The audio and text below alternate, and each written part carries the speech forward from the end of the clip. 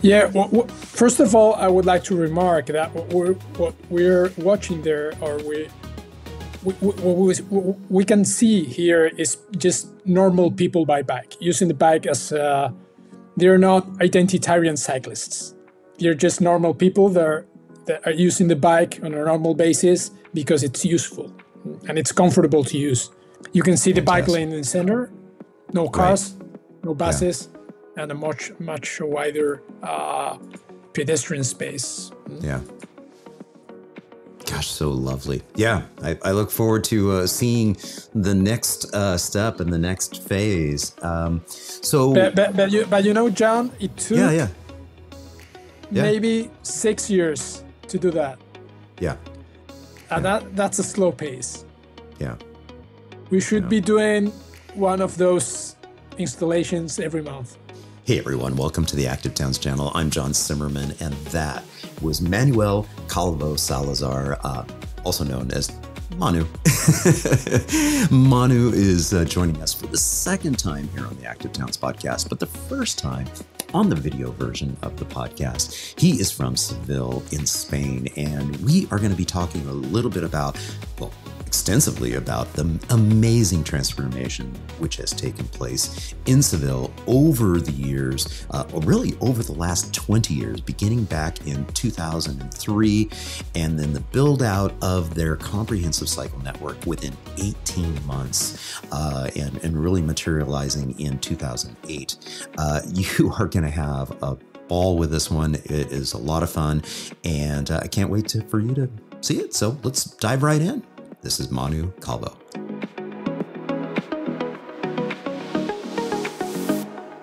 Manu, thank you so much for rejoining me on the Active Towns podcast. Welcome. Thank you, John. It's a pleasure always to be here with you. Yeah, I say rejoining because this is your second time on the Active Towns yeah. podcast. A couple years ago, uh, you were on board uh, for the audio only version. So this is special. This is a great opportunity for uh, the the video audience, the YouTube audience, and we've got some important updates uh, for the audio only audience as well. But uh, before we dive in all the details, uh, Manu, why don't you just take a quick moment to introduce yourself to the audience? Who is Manu? Well, Manu, I think it's a it's a person that is uh, worried about these sustainability issues.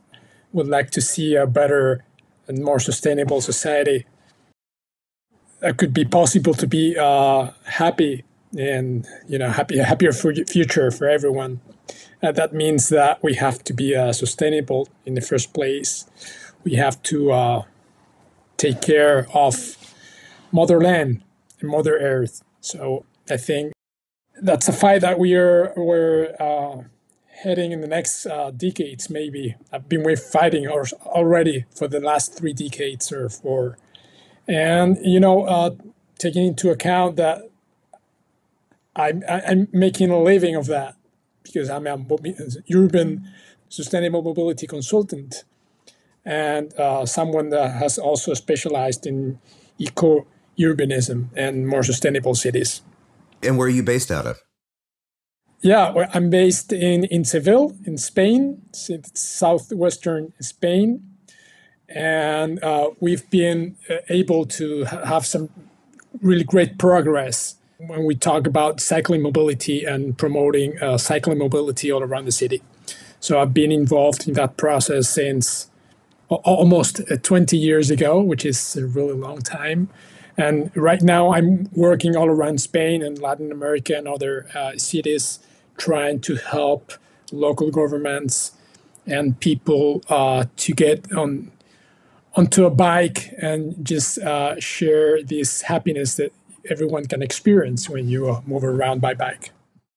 Right. Yeah. Yeah. And uh, for for those that don't know the special story that is uh, Seville and the experience uh, that the city went through and the cycle network, can you just kind of briefly give an overview of that? And and I'll I'll actually pull up um, from your PowerPoint presentation, sort of the overview maps of the cycle network as it develops over time. But I'll let you kick it off and start that conversation. So, what is it that is special about Seville as a city and the cycle network that that evolved and emerged?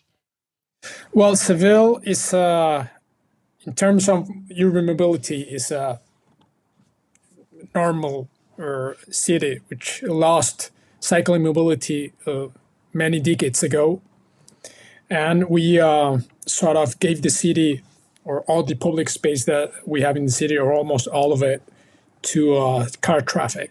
And so we we're experiencing, and we are experiencing experiencing all the uh, problems that uh, bring this this giving of this public space to the car to the car traffic. And but in 2003, 2003, 2004, we have the opportunity to have uh, people in the local government, in the local council, that were worried about uh, sustainable mobility and also shared the vision of having um, a city that were friendlier, more friendly for, for cycling mobility. So they um, started some policies that were able to transform in this way uh, the urban mobility of the city. So we went from zero point something percent of the uh, modal share by bike made by bike to uh, almost seven percent in just uh, three or four years.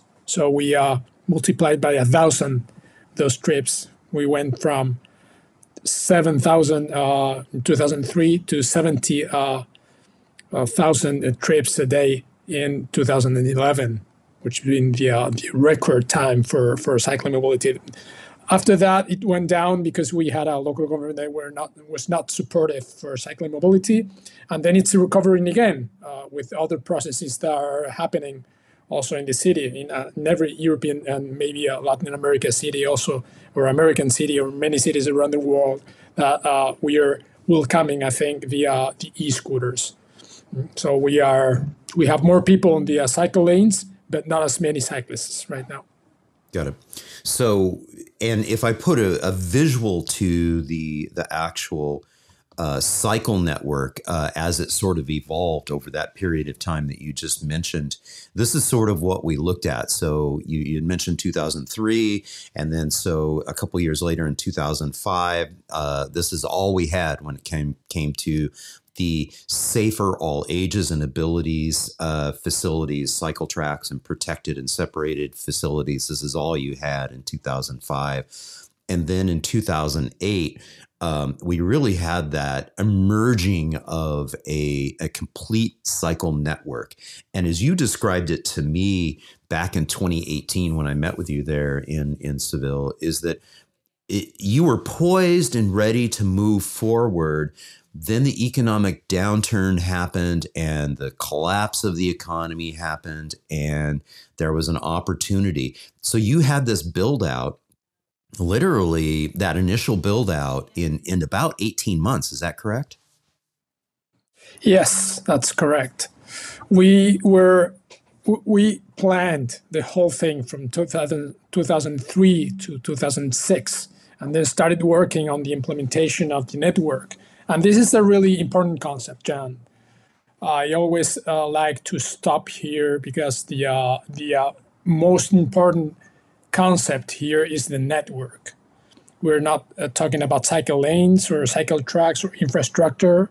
We're talking about having uh, a whole network, uh, what we called at that time a basic network in the scope of Seville, and the urban area of Seville, of the central Seville, uh, where all this happened. Uh, we were talking about 80 uh, kilometers. That would be maybe 50 miles of that basic network. And that was the network that uh, uh, um, made possible for everyone to grab a bike and cycle around and get from A to B. So the, we after that, in, in the next five or maybe three or four years, we had what we called the second phase. So we added 40 kilometers more to the network, and that's uh, 2010 and uh, that's that drawing uh, shows us a network of about 120 kilometers. At that point, almost every big avenue or every uh, main avenue in the city had its um, cycle lane placed there. And after after that, we've been expanding the network and maybe uh, expanding also the density of the network. And we right now we can talk about 2,200 kilometers of, of, of cycle lanes, but always a network. There are not or almost there are not any uh, cycle lanes that being built that are unconnected. So it's the, the expansion of a network. And this concept must be, or is really, really the most important thing, talking about cycle infrastructure. Mm-hmm. And also, I would also say that this, at least this basic network, should be uh, built fast in no more than four years if if it's not done like that, you know, it, it, can happen that everything slows down and and you never have enough cyclists to get around. And and, and for us, our experience, and in, in, in a lot of cities that I'm working uh, right now, uh, they're experiencing that it's important to be uh, to go fast in the building or the implementation of the network. And I remark, I'm remarking again the uh, concept of the importance of this concept, the network. Mm. Yeah. And uh, when we zoom in on this particular uh, network map and everything, in the center here of what I'm zooming in on, explain what that circle is right there. What does that represent? That represents the historical center of the city. Uh, Seville has the third uh, biggest historical center in, in Europe. Hmm? It's about, uh, it has a diameter of about one mile or so in any direction. So it's, it's almost a perfect circle, as you can see it there.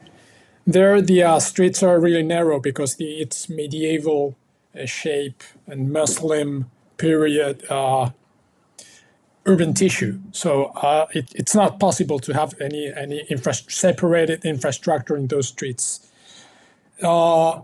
And I would say I would even go even further to say that uh, those streets are super super narrow, as you mentioned.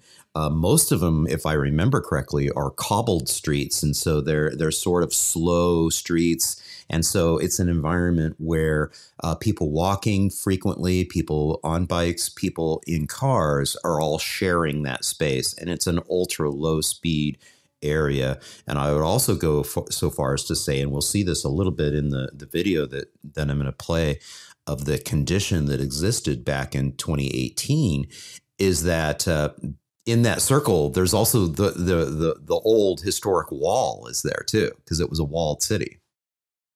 Yeah, actually, that's the the the, uh, the historical center or the limits of the historical center uh, uh, right now. They're placed there because there used to be a wall. Exactly. Made, uh, yeah. Or built by the Muslims uh, almost a thousand years ago. We we just uh, conserved some tiny pieces of that wall, but the, the, the shape of the city was almost that, and, and it was like that for a thousand years. Yeah, yeah, and it's beautiful. I'm going to just play some some video in the background um, because this video represents uh, one year later. So I met you in, in 2018, and and I was just out riding in the morning during rush hour, um, and and so let's talk a little bit about that condition that existed uh, in 2018. While you know, because this is kind of a you know a special point in time in 2018 you all had attracted a great deal of attention because of the success, of that initial build out of the the network and um, and and eventually we start talking about later on in this video about some of the things that need to be done. But go ahead and talk a little bit about the condition that we had in 2018. This sort of represents what we saw on that map in 2017, and, uh, and, and this will set the platform for some new photos that you have of the, the current conditions. So going back to 2018, talk a little bit about what we're watching here. Yeah, well, first of all, I would like to remark that what we're, what we're watching there, or we, we, what we, we can see here is just normal people by bike, using the bike as uh, they're not identitarian cyclists they're just normal people that are, that are using the bike on a normal basis because it's useful. and it's comfortable to use. So uh, you see normal gear, uh, no special uh, sportish uh, stuff, uh, urban bikes. You know, uh, they, they, they could be walking, they could be grabbing a car, or they could be getting to a bus. But in this position, for them, it's useful and it's comfortable to, to use the bike to to get around, and that's that's what they do. So that's that would be the first point. Uh, the infrastructure is safe. Uh, you can see uh, you've seen already many kids on the uh, chairs on top of the bike. So uh, it's and, safe. And in fact, and I'm, I'm going to switch over yeah. to a photo here real quick too, because since you said that, I, I put this photo, I pulled this photo up, and then we'll we'll we'll hit re- replay on this uh, video. But uh, this is my one of my favorite photos of the entire uh, trip is right here. Yeah, that just that just says it all in one one shot. They say a picture's worth a thousand words. Boom, there you go. Continue. yeah, actually, actually, you took a picture of Patricia and Oliva.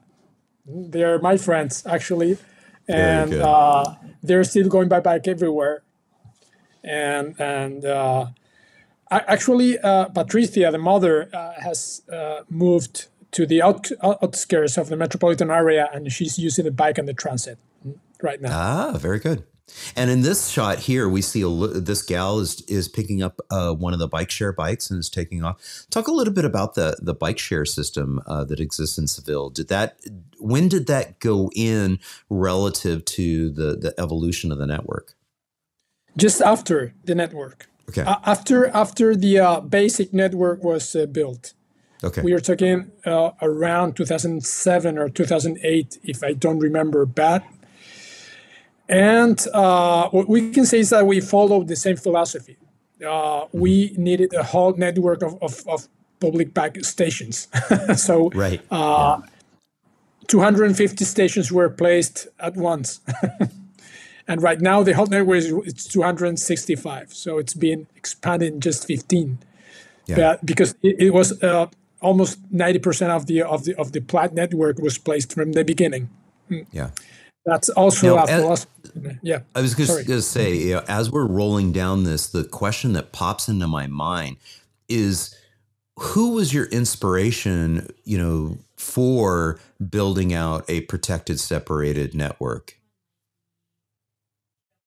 Well, our the inspiration is always placed on those cities that's that's been really uh, where where cycling is really developed and, and it's uh, into the uh, urban culture of, of their mobility and, and livelihood in, in the urban space. We're talking about the Netherlands, maybe or Denmark, but actually. Uh, that was the inspiration, but lots of things that we did in Seville were not a copy of the developments that these people have because we right. the the uh, we always thought that we needed a whole network placed really fast as, as, as I said but also we went for a bidirectional model which was really easier at that time to implement in Seville and we were we had a clear idea that we had to go from nothing to something in terms of, of cycling mobility.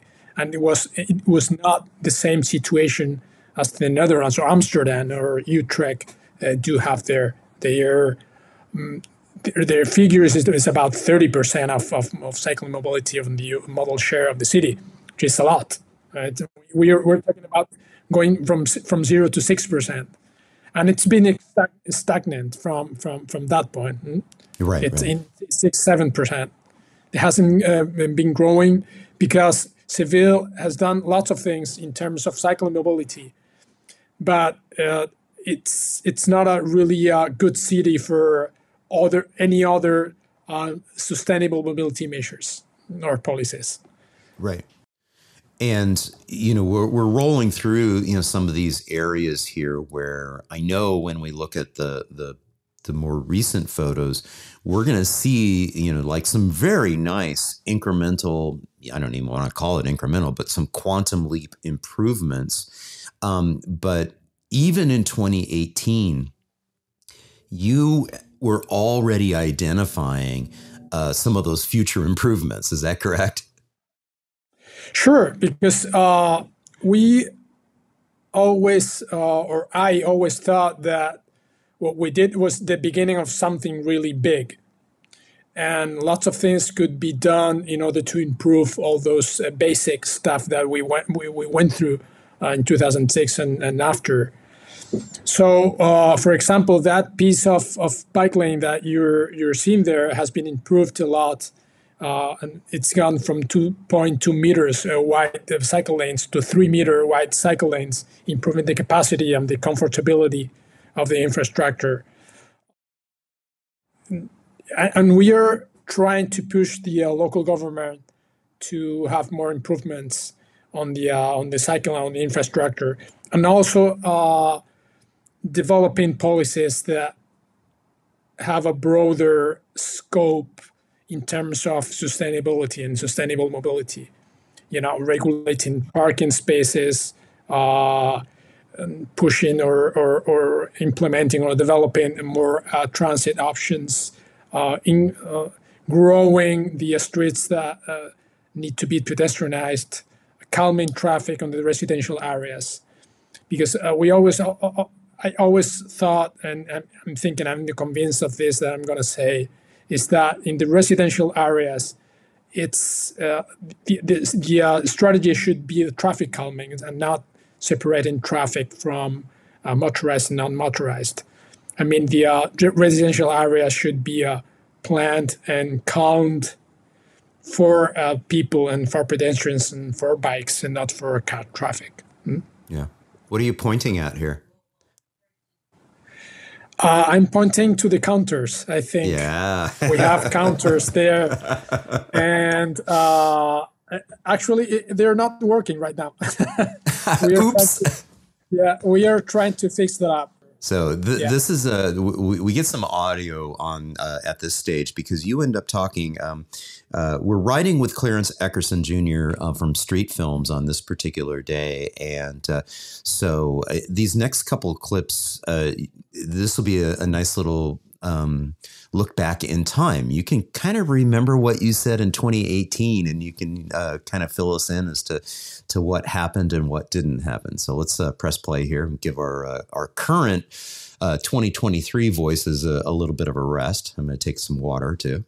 that is a brand new uh, piece of cyclopod, and you know when you say improving the quality, mean that you can say you can see we've come like a meter and something more space from the road space.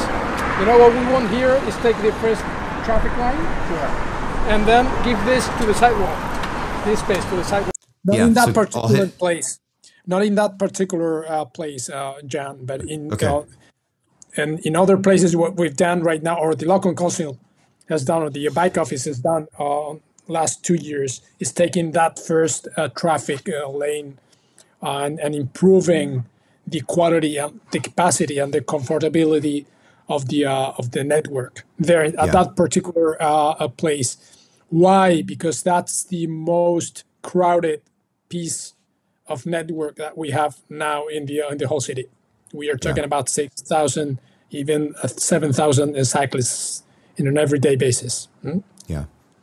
Yeah, it's and as I recall, uh, isn't that one of the the routes that's just on the exterior of the historic core? Sure, sure. Yeah. That's that's that has a really uh, the role of this piece of network is essential because yeah. it connects it connects just right at the outskirts of the historical center all the main avenues that are coming and going forward back and forth from and to the historical center, which is the yeah. core of the uh, of the city. Yeah, which yeah. It, it, it, could be like downtown on, on an American concept. Yeah, yeah, yeah, yeah, absolutely. Yeah, in fact, uh, and, and, what you continue to say here is, uh, you know, pointing out to Clarence uh, that uh, you know currently, as we were out there riding in the afternoon, uh, it was relatively calm. There weren't very many people, you know, relatively speaking, compared to when I was out there filming in the morning. And you you turn and look to me and say, "Remember in the morning, rush hour." It was a lot more people, and it was. But even as we're just rolling down through here, I just I marveled at how many people were out there, and it wasn't just bikes. And like you said, it's normal people. Um, going about their day. But I also saw lots of people, uh, you know, on rollerblades and, you know, just active mobility, sustainable mobility, uh, getting out around.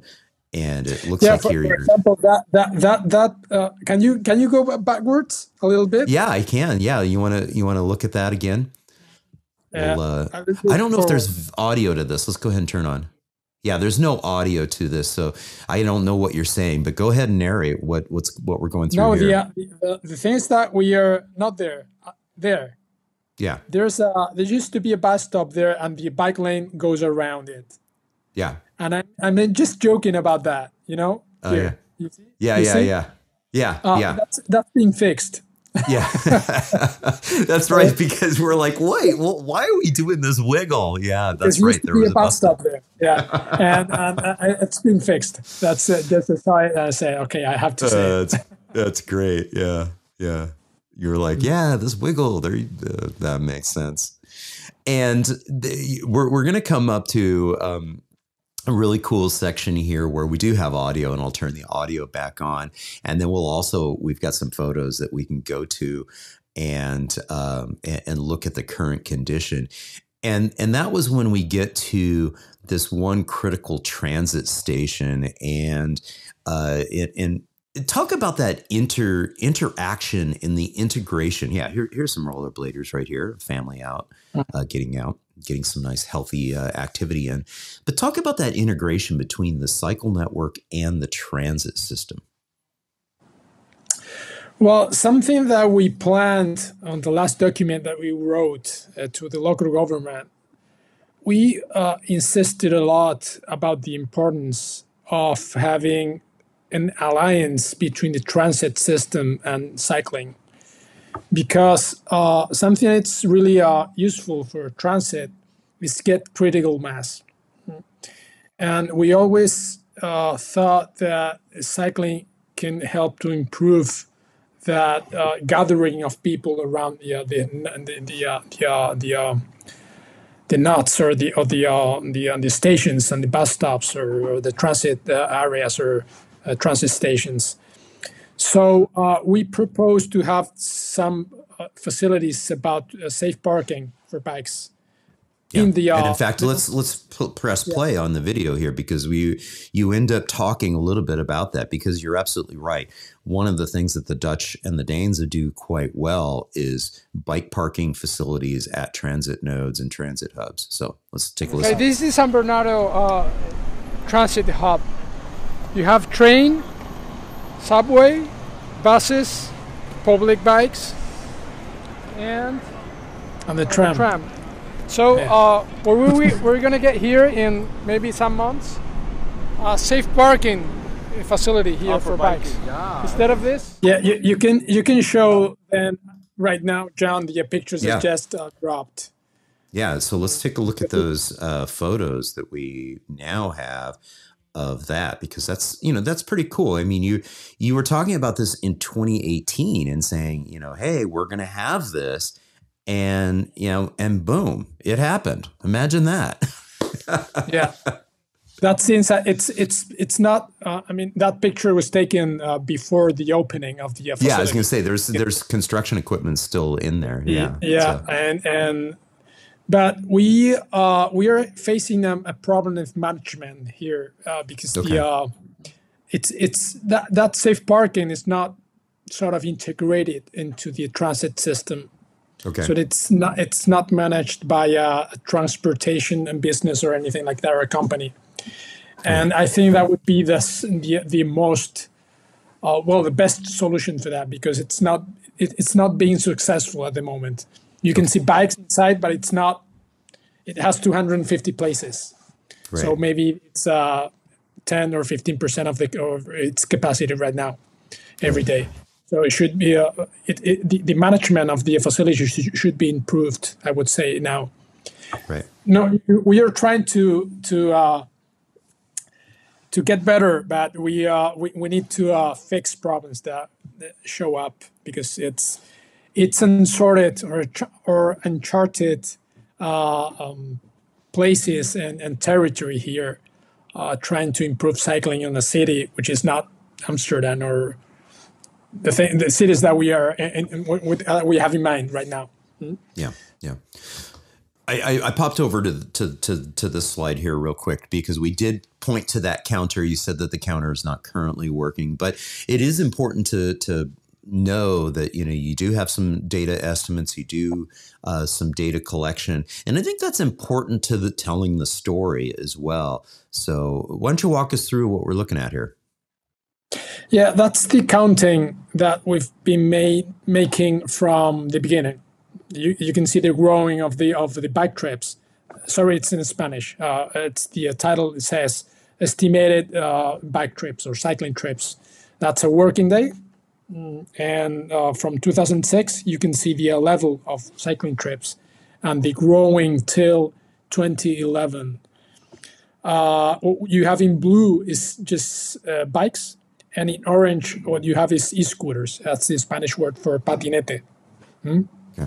And what you can see, that's a phenomenon that's it's occurring also in other cities, and especially in Spain and Mediterranean cities, that we, we have more and more e-scooters, as you can see there. Uh, from yeah, from 2019, they've been growing a lot, and uh, some of the people that that used to uh, use the bike is changing to the uh, to the e-scooters.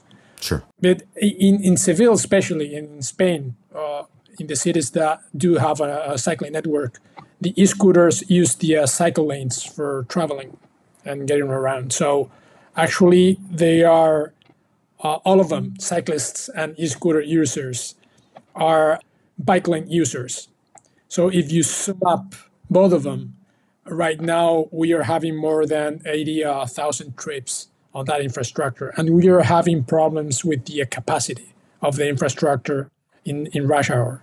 So uh, that's something that is pushing, I think, for uh, politically also for the improving of the network but you know it's something that's happening and it's we are also uh, facing problems of uh, you know living together using together the, the, the same network or the same infrastructure the cyclists and the e-scooter users yeah yeah and I, I, I fast forwarded over to this uh, part uh, because you mentioned capacity right there. So I thought, hey, what a great little clip to show uh, for the capacity um, because a, little bit further on from this, we we do have some current photos, and we'll we'll we'll click on to that and take a look at that in your PDF that you sent over.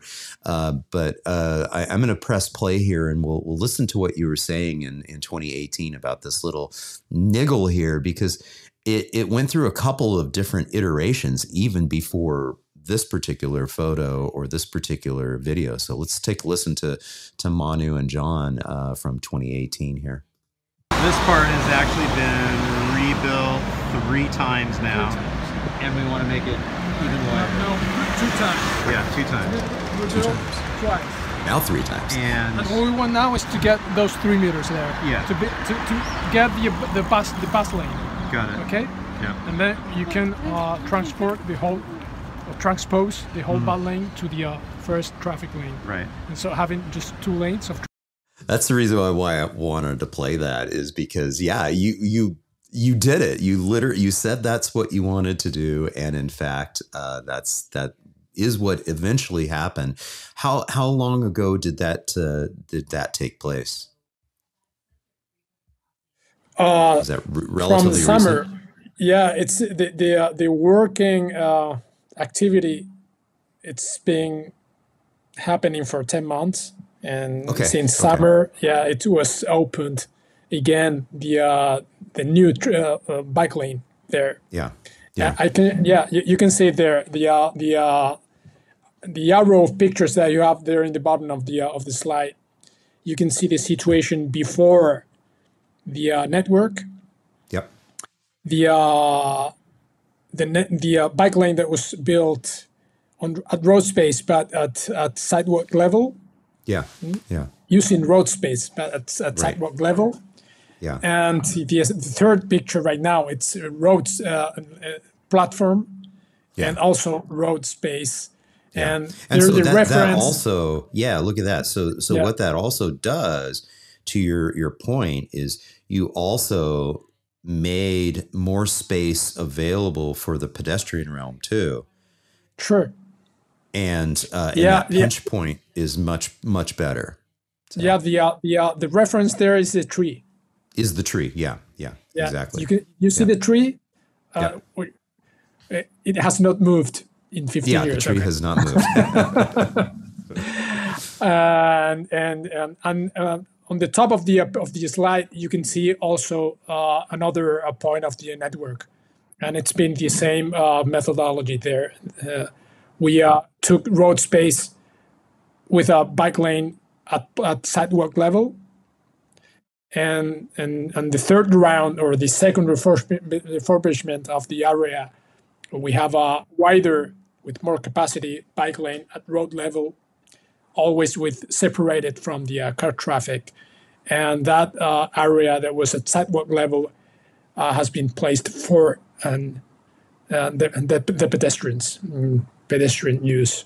Fantastic. Yeah, that's fantastic. It's it's so wonderful to see that evolution that takes place and you know as a reminder i mean in 2003 in 2005 you know we this was sort of like the the dream and you know it it, it went through those stages and you you went from boom virtually nothing building it out in 20, 2008 2010 2017 and now um, what you're really doing too is going back in and enhancing what e- existing in in 20, 2017 2018 and really fine tuning and again what we're talking about it- what some of the visuals that we just had were in that ring right there uh, around the, the the most busy areas of that network.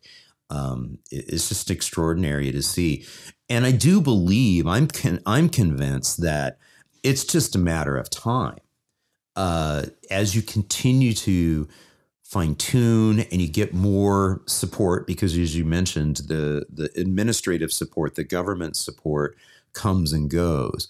And so the politics of the matter you know kind of infiltrate into the support of it.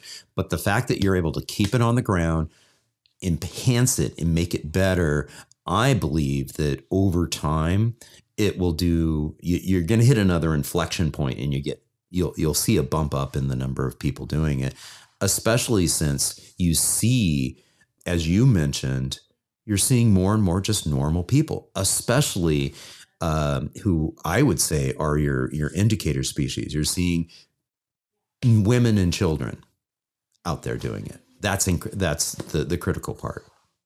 Yeah, I, think that's that that is one of the uh, major uh, lessons that we can uh, have from happen in Seville.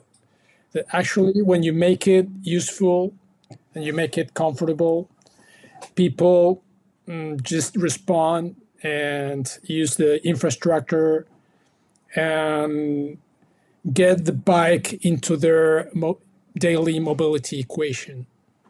So it's an option that they, they, they can they can grab and use. yeah. I think the uh, step that is not happening is that actually this is not a free market or should, or should not be a free market where you can uh, place in the same table in the same conditions car transit walk or cycle and then you choose. Because actually on that equation you have like four things that you can use but one of them is really bad for for the future. So uh, yeah the, the uh, public powers and the, the government or the people have to uh, be aware that there's uh, there are better options and these options should be uh, improved and supported by the uh, local uh, governments or the uh, national governments or any government that are seeking to have that sustainable mobility. That I think that would be one of the lessons that we can uh, also uh, get from the Seville experience. Because you get great infrastructure, you get normal people to use the bike, but but you don't do not get more than six or seven or maybe ten percent of the people cycling actually because the uh, you need restrictions for car traffic especially the possibility to park. We, we do know that that would be the uh, the main uh, the main knot that it's not being pushed at the moment. The expectation to park on the destination. Yeah, and I, I, went back to this photo here and zoomed in just a little bit so that we can uh, uh, highlight something that's critical to that evolution that took place with this network and, and, and with this particular portion of the network is that, yes, we did take away some uh, a lane we were able to, to move that over so it is, has been that incremental sort of step process of encroaching upon what used to be either car parking or car motor vehicle travel lanes. Um, and to your point, at some point in time, yes, you've got your your safe and inviting, protected, all ages and abilities cycle network in place. That's great, but you also need to follow that up with other incentives and or friction points to to to to really incentivize people, more people beyond that 7%, as you mentioned, to make that trip, that inherently rideable trip, be a, a, sustainable mode versus an unsustainable mode. And what I like about this photo is we see a little bit of it all. We see, you know, some trucks and some vans and some buses, the person on the bike, and we see some, you know, private automobiles, uh, you know, in there as well. And so whatever we can do to shift more of those trips onto the bikes, maybe even get some of those van deliveries to be done through cycle logistics, cargo bike logistics, and uh, and then shift away from you know those inherently unsustainable modes that you know make those heat waves even worse because you know that's uh-huh. something that we we do recognize. Because by the way folks seville this is a hot place. When i was there it was in june and i'll probably be back there in june again. So i don't know why i'm torturing myself. But yeah, I mean, it gets it gets hot in the summertime, so it yeah, is a place that, really where hot. people will ride. Yeah, yeah. We we did never uh, think that uh, people were going to use the bike in summertime, but but they they yeah. do, not as much in springtime, but they do. so uh, yeah, because the the, the, uh, this video was shoot uh, was shot uh, maybe in June time, right in the month of June. Uh, yeah. And you see how many bikes are there. So yeah, yeah, uh, it's, it's it's something amazing. Yeah, yeah, yeah. And there, there's a, a, personal scooter that went by. Now, this video, I'm going to just go ahead and let it play up to this point right here. And we don't need to turn the volume up on this. Uh, you're basically just telling me about this particular installation and uh, at the time in 2018, this installation had only been in about three to four months. Why don't you give the, the story behind uh, what we're, we're looking at here? We're looking at the the, uh, the space that is just placed in front of a school center or a school, a primary school. That's the door of the of the uh, school, and we did have problems. And I, am uh, talking first person because I was uh, my children went to this used to go used to go to this school, so uh, we we did have problems of space. Uh, the uh, the walking space and, and the, uh, the staying space uh, space was really really narrow, and we talked to the local government in order to have this installation here with tactical urbanism, and just bollards and painting, in order to increment and grow this space for walking uh, or almost almost double that area. And it was really cheap, really fast to do, and it was really convenient because actually you can see that woman is, staying at the uh, used to be parking space. so uh, we also planted those trees, those two trees. They are much bigger now, and and they are providing the people more shade, especially in the summertime. Yeah, and it's working uh, pretty well. Mm. We are we are in the in my consultancy. Uh, we've been making or some projects for other cities uh, following that that same methodology and that philosophy, uh, and it's it's been really successful mm, at the moment. Mm. Yeah, yeah, that's fantastic. And and uh, when we were focused on this particular image here, you were you were talking a little bit about how the expanding of the pedestrian space was achieved. Uh, looking forward into this area here. Yeah, you, you can see that that girl uh, walking. That used to be mm-hmm. a parking lane. Yeah, and the uh, and the sidewalk was uh, expanded, and you can see the uh, the old sidewalk and the new sidewalk there. Just and, and the people just is walking in the new one. Yeah. So it's working. yeah, yeah. And what's neat about this particular um, portion of the video is it's the only portion of the video uh, where we're actually inside the historic core. Is that correct? Yeah. Yeah. Yeah, and and something that's being also done right now is that the pedestrianizations uh, I don't know if that word exists in English. Yeah, yeah, pedestrianization, yeah. Yeah. Pedestrianizations uh, yeah, are yeah. taking place outside the historical center. Ah. From, from a political point of view, pedestrianizing places into the historical center is much easier.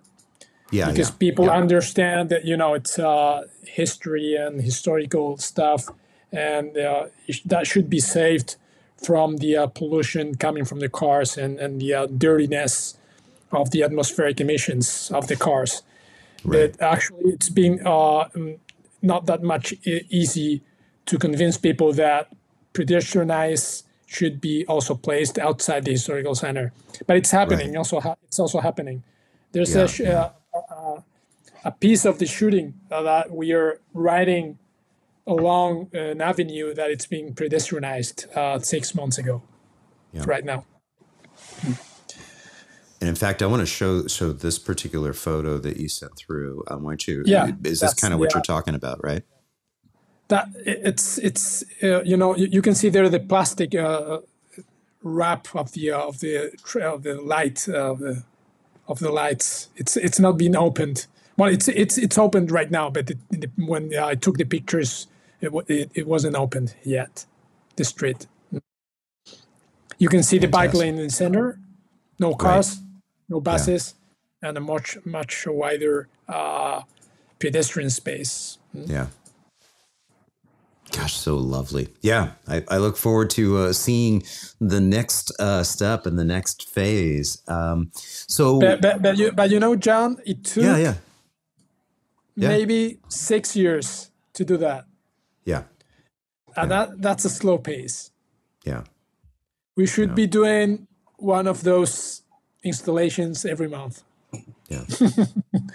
but it's taking us it's taking us six months, uh, six years to yeah. to do that. What do we got going on here?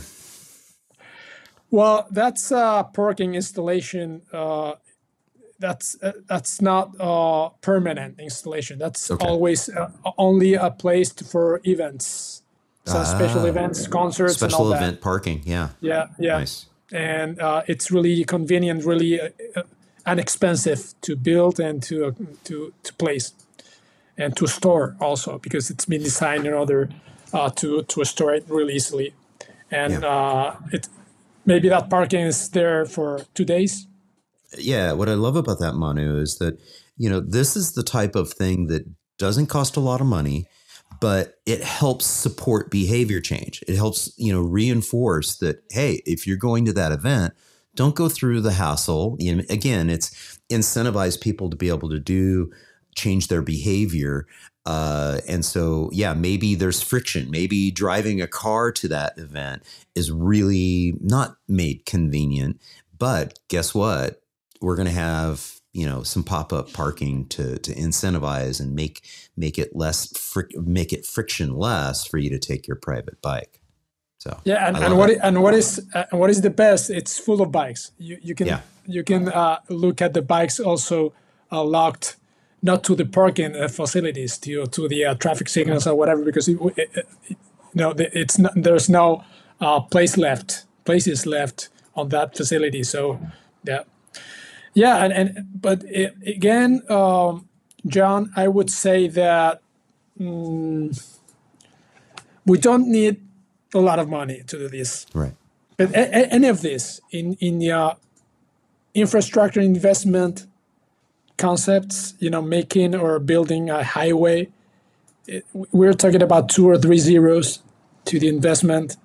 If we uh, talk about cycling infrastructure, it's so much cheaper that it's it's it doesn't even deserve a discussion.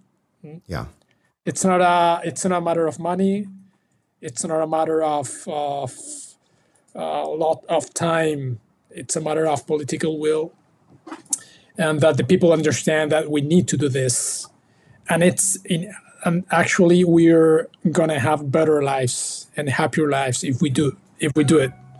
Could be it could be the opposite and we are lacking this uh, this stuff. Mm. and uh, as you uh, as as pointed out it always seems impossible until it's done. Nelson mandela. Just uh, imagine like the uh, Lennon's uh, song. Imagine another situation and that just go for it, and and it's possible because it actually the uh, result is better. Yeah, yeah, yeah, absolutely. So, based on where this journey has come now over all of these these years, from 2003 to where we're at now, uh, 20 years later. Uh, what does the future hold for Seville, and what are you working on uh, currently? Well, I'm trying to apply the same this same uh, things all around the uh, globe, and also trying to make cycling policies or integrate these cycling policies into wider a wider scope, or taking into account sustainable mobility. So trying to work cycling and walkability and retaking uh, public space or urban public space in order to have better cities or improving transit or make this alliance between transit and active mobility a reality. And i'm working on that. I'm, I'm, I'm focused on, on, on that uh, kind of stuff. Fighting a lot but i'm convinced that the events that we are going to have to face in the coming decades, all this stuff, it should be a clear, or it's going to be clear that we need to go for it, and that's going to happen, no matter even who is in government, mm, because we we are. Uh, it's going to be compulsory. it's a uh, it, it's a matter also of economic strategy. Mm, I think. Yeah. And what better way to, to close this out than to, to uh, with a declaration. Be happy. Cycling and walking. Yeah sure. And uh, as i said before we are lucky because if you cycle and walk you're going to be happier. And but imagine it, uh, it, it, it wouldn't be the case. But, but it's the case. We are lucky. Yeah. If you cycle and walk you're going to be happier. So go for it. Yeah yeah.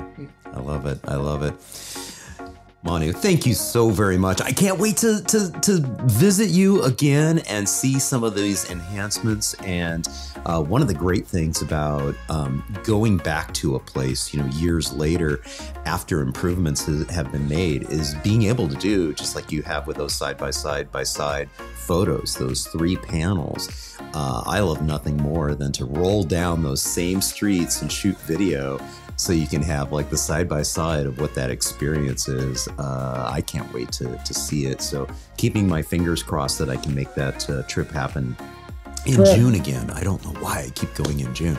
Uh, I tried to make it happen in April, but uh, it, it, doesn't seem to be well. Uh, together. You know, October and November should be also a good months to come here to yeah. Seville. Well, I will. I will say this. I will say this about um, uh, June in in Seville. I love the jacaranda trees because they're in um, they're in bloom, and the purple lavender everywhere. It's just so photogenic and so beautiful. So th- there is that. Yeah. okay, as always, John. Thanks a lot uh, for having me yes. here. It's always a pleasure to share with you anytime talking about some great issues and some very important things. And of course, you you will be really really welcomed here in Seville at home, and bring with you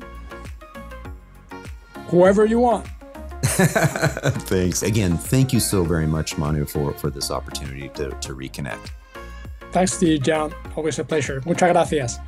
Hey, thank you all so much for tuning in. I hope you enjoyed this episode with Manu. And if you did, please give it a thumbs up, leave a comment down below, and most importantly, please share it with a friend and spread the word about what is entirely possible if we have the political will and the courage to do something different, break out of the status quo, if you will. Uh, again, I'll have another episode next week. And until then, this is John signing off by wishing you much activity, health, and happiness. Cheers. And again, sending a huge thank you out to all my Active Towns ambassadors supporting the channel on Patreon, Buy Me a Coffee, YouTube Super Thanks, as well as making contributions to the nonprofit and purchasing things from the Active Towns store. Every little bit adds up and it's much appreciated. Thank you all so much.